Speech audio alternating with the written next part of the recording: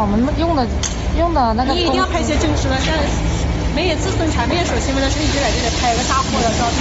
是的，我们就是工厂，不用跟他废话，懂了吧？他也不来怀你，因为你的图片用的越真实，他就知道你的图片嘛是精修的，可能不是专业的工厂，所以一定要配上一些这种工厂的视频、照片。